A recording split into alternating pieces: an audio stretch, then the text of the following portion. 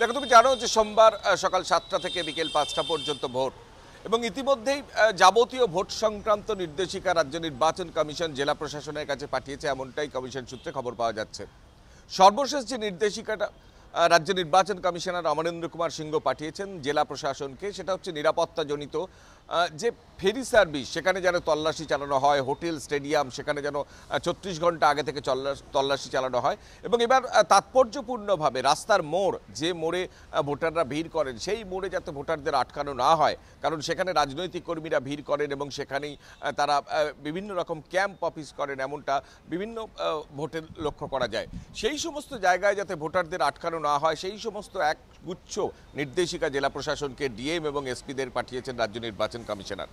পাশাপাশি তুমি জানো, সোমবার সকাল সাতটা থেকে ভোট বিকেল পাঁচটা পর্যন্ত চলবে এবং তার আগে আগামীকাল শনিবার বিকেল পাঁচটা পর্যন্ত সেখানে কিন্তু প্রচার শেষ হচ্ছে। সুতরাং প্রচারের ক্ষেত্রে যাতে কোনো রকম বাধা না পায় কেউ বা অন্যরকম কোনো রকম আইন শৃঙ্খলার অবনতি না হয় বা কোনো রকম অশান্তিমূলক ঘটনা না ঘটে, ইতিমধ্যেই পুলিশ সুপারদের সে ব্যাপারে নির্দেশ পাঠানো হয়েছে। রাজ্য নির্বাচন কমিশন সূত্রে যেটা জানানো হচ্ছে যে ভোট সংক্রান্ত বিষয়ে যেহেতু চোদ্দ তারিখটাকে সামনে রেখেই তারা প্রস্তুতি নিয়েছিলেন, যাবতীয় প্রস্তুতি তঙ্গে। ইতিমধ্যেই তল্লাশি শুরু হয়েছে এবং পুলিশ প্রশাসনরা রুটমার্চ করতে শুরু করে দিয়েছে। এবং আজকে রাজ্য নির্বাচন কমিশন বরং গণনা নিয়ে, গণনা সংক্রান্ত বিষয়ে বিস্তারিতভাবে একটা সিদ্ধান্ত নেওয়ার পথে এগোবে। এবং যে নিরাপত্তার কথা তুমি বলছো, তুমি জানো যে আদালতে যে ফর্মুলা পেশ করেছে রাজ্য সরকার এবং রাজ্য নির্বাচন কমিশন তাতে সন্তুষ্ট প্রকাশ করেছে।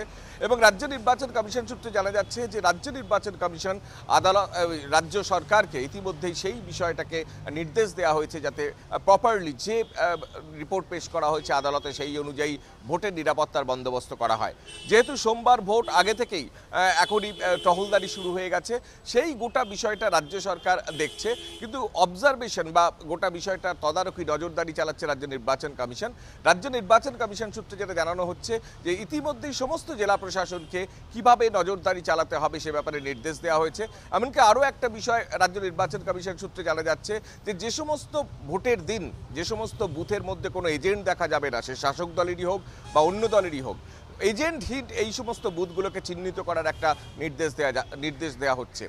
পর্যবেক্ষকরা সেগুলো চিহ্নিত করবেন, কেন এজেন্ট নেই এবং সেখানে পুনর্নির্বাচন করা যায় কি না সে ব্যাপারেও একটা চিন্তাভাবনা বা আলোচনা হবে ভোটের পরের দিন, যেদিন পোস্ট পোল স্ক্রুটিনি বা এগুলো হবে।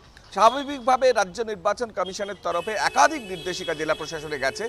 গোটা বিষয়টা কীভাবে ইমপ্লিমেন্ট হয়, কীভাবে অবাধ এবং শান্তিপূর্ণ নির্বাচন হয়, তার জন্য অবশ্য অপেক্ষা করতে হবে। কারণ গোটা বিষয়টাই রাজ্য সরকার সেটা ইমপ্লিমেন্ট করবে। পাপিয়া। ধন্যবাদ কৃষ্ণেন্দু।